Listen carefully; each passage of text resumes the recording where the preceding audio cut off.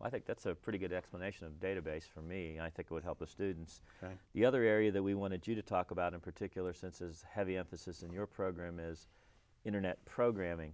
Right. Um, once again, we have a common course in the first term that all the majors take. That's uh, internet programming, HTML. Can you Right. ex- tell us a little bit about that?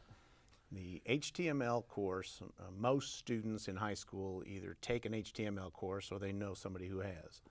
It's, it's, a, it's a coding language where you mark up with tags uh, and if you want to see what it looks like, just right click on any web page and click on view source and you'll see this mess that comes up which is the HTML.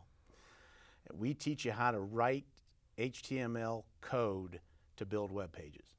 It's very fundamental, but we use a software package called Visual Web Developer. It's a Microsoft product. It allows you to uh, say you say you start writing tags in the HTML uh, page. Uh, say you start a table. A table is a very common element in an HTML uh, page. If you type in table and hit the enter key, it'll put the closing tag for table right below that. It, it, it helps you out. It's a little intuitive. If you type in, oh, say you misspell table, you'll get a little squiggly line underneath it. It won't give you the closing tag. It'll say, I don't know what that is. It's like word with a misspelled word. Uh, you look at it and you hover over it, and uh, I'm, I'm really happy Microsoft decided to do this. Their error codes now will tell you exactly what you did wrong. It'll say, I don't recognize this word, you may have misspelled it, which is, which is really nice for Microsoft. They're not, you know, they're not good on their error reporting in the past.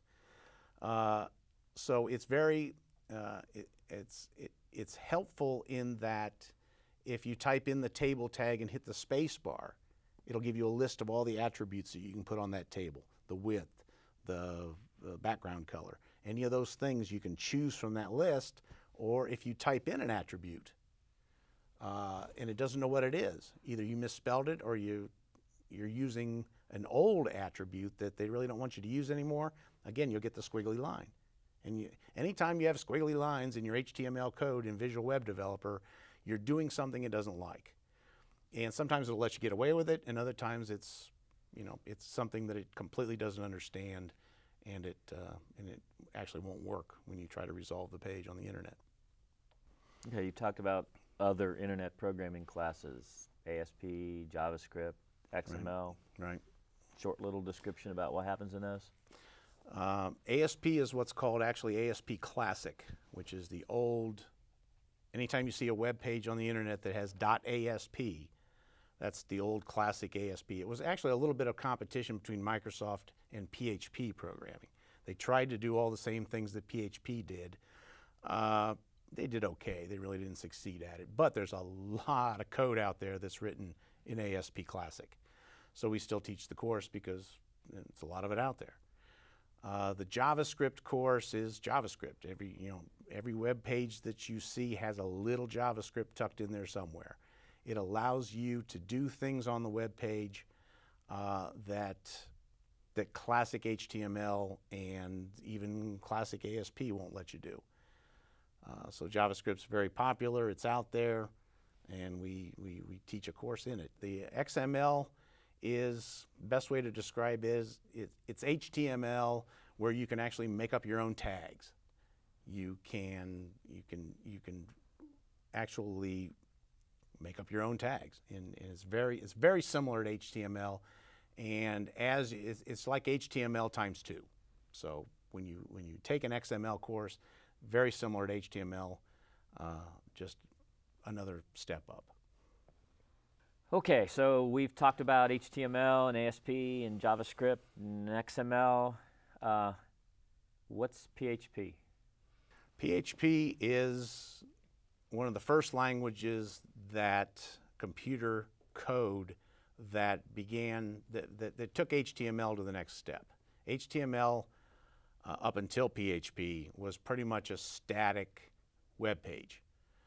Uh, PHP introduced the dynamic web page where you could manipulate what's going on in the web page based on decisions that were made uh, before the page was, was resolved on your screen.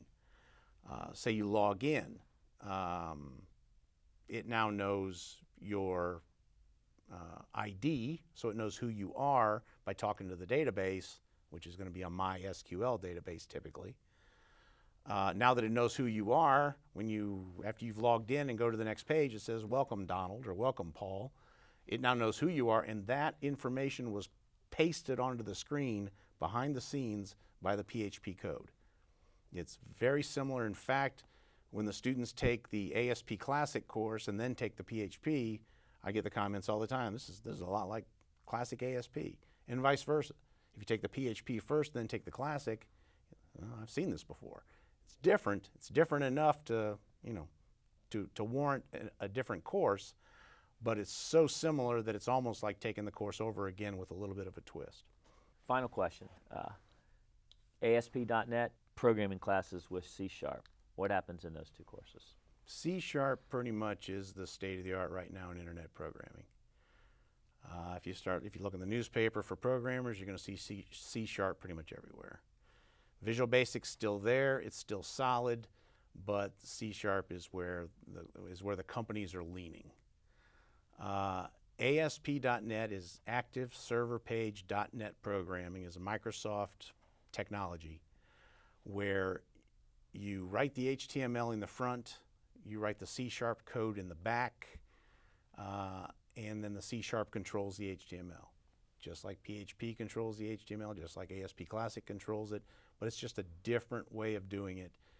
Uh, programs right now, when you're on the internet and you see ASPX as the extension on the web page, that's either a C sharp or a VB.NET program.